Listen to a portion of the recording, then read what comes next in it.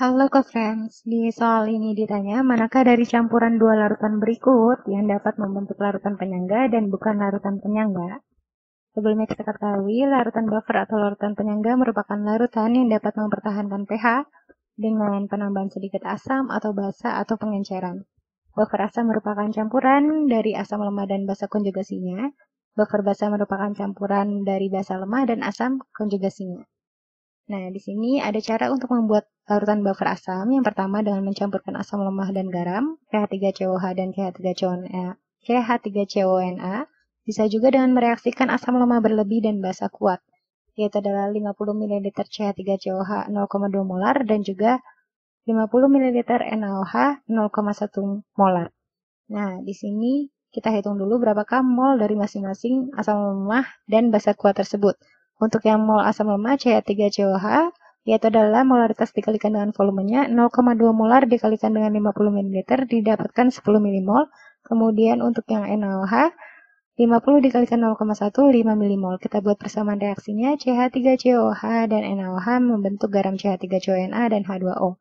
Mula-mula bereaksi sisa, pada mol mula-mula kita masukkan CH3COH dan NaOH 10 dan 5 milimol. Nah, kemudian di sini yang sebagai reaksi pembatas adalah NaOH, karena mol dibagi dengan koefisien yang paling terkecil adalah NaOH. Nah, berarti di sini tersisa CH3COH asam lemah berlebih sebanyak 5 milimol dan terbentuk garam CH3CONA 5 milimol.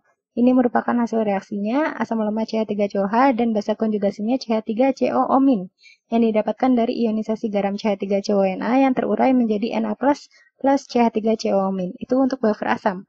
Lalu untuk yang membuat buffer basa, bisa dengan mencampurkan basa lemah dan garam, NH3 dan NH4Cl, kemudian bisa juga mereaksikan basa lemah yang berlebih dan asam kuat. Contohnya seperti 50 ml NH3 0,2 molar direaksikan dengan 50 ml HCl 0,1 molar.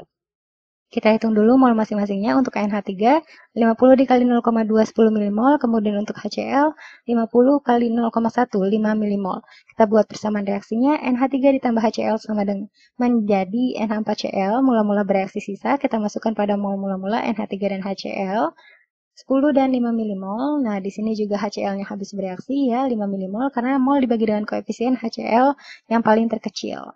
Sehingga di sini didapatkan pada hasil sisa tersisa NH3, basa lemah berlebih 5 milimol dan terbentuk garam NH4Cl. Hasil reaksinya basa lemah NH3 dan juga asam, konjug asam konjugasi NH4+ yang didapatkan dari ionisasi garam NH4Cl terurai menjadi NH4+ dan Cl-. Itu untuk buffer basa. Nah, di sini untuk yang A, CH3COH-nya itu merupakan asam lemah dan juga CH3CO 2 kali Ca itu merupakan garam ya, yang akan terurai terionisasi menjadi ion-ionnya 2 CH3CO- dan Ca2+. Nah, di sini berarti menandakan bahwa campuran tersebut terdiri dari asam lemah CH3COH dan basa konjugasinya CH3CO-. Ini merupakan larutan dari buffer asam.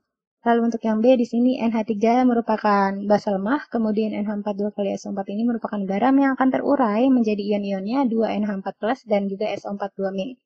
Nah, berarti di sini campurannya itu terdiri dari basa lemah NH3 dan juga asam konjugasinya NH4+. Nah, ini berarti larutan buffer basa. Dua-duanya merupakan larutan buffer. Yang A buffer asam, yang B buffer basa. Sampai jumpa di soal berikutnya.